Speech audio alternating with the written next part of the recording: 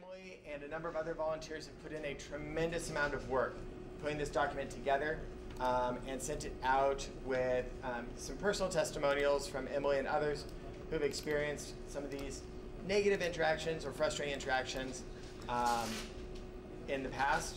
Um, if you um, don't have it in your email, definitely check your spam folder um, because we know that some people it routed that direction. Uh, we are going to be discussing that more in depth this evening, um, and then that um, poster will be published and posted in here, um, I believe, starting this coming week. Um, so if you haven't gotten that, if you um, want to make sure that your email address is on there, um, do you actually have a link to that that I can share real quick? I can put it up here on the screen. Uh, we'll drop it in the Slack. Where, where do we have it? Which which doc are you looking for? Sorry. The poster itself. I don't have the image itself. Tiana, do you have that image Give- handy? Give me one sec. I have it in my email. Okay.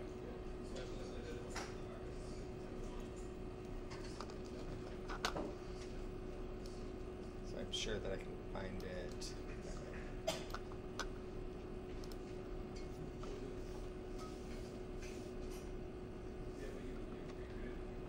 There we are. All right, I'm going to share this. So you guys are going to be the first public audience that gets to see this. We're going through a couple of minor revisions on this. Um, it's to be a little bit small, and I apologize.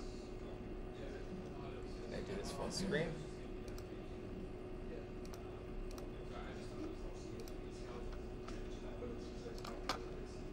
Um, so, really, what we're trying to do with this is set some clear guidelines of what appropriate interactions look like, um, and also support that with some tools and additional um, pamphlets and talks on how to potentially address situations that make you feel uncomfortable, or if you see someone else that is feeling uncomfortable, um, or you, when you um, see types of harassment um, or you know inappropriate communications, things like that, ways to intervene and make sure that this is a community that no one feels um, that they aren't safe here.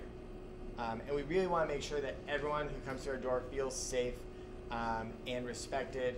Um, so this is why we are putting um, have put this together, um, and I'm really really excited about this initiative. Like I said, Emily has done a huge amount of work on this, um, and I'm re- I'm really proud to be part of an organization that is taking a stand like this, um, really ensuring that this is a place where people are treated um, with respect at all times. So um, keep an eye out for this. Um, again, check your email. Come up and grab one of us if you don't have um, if you don't have it in your email inbox already. It should have gone out to all active members and everyone that is on our mailing list. That or am I jumping the gun? It's not going out until Monday. Uh, I, thought it I, went- I got the announcement. I just didn't see the post. Okay. The email went out on Monday, I thought. Monday morning, Okay, cool. but it it did go my spam. Okay.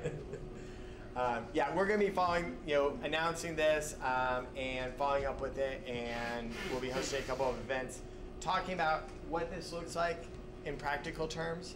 Um, and we've tried to keep this really approachable and pretty clear. Um, you'll see this um, our dojo cat um, appearing in a number of different areas. We'll have stickers that you can get as well um, about respecting personal boundaries. That if you want to stick that on your laptop, um, you know, just show that you, know, you support this initiative um, as well.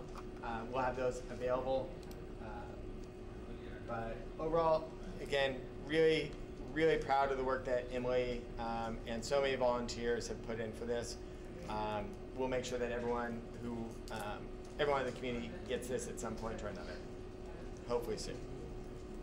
Um, hands up for anyone who didn't get it. I saw Celine. Yeah. Was that?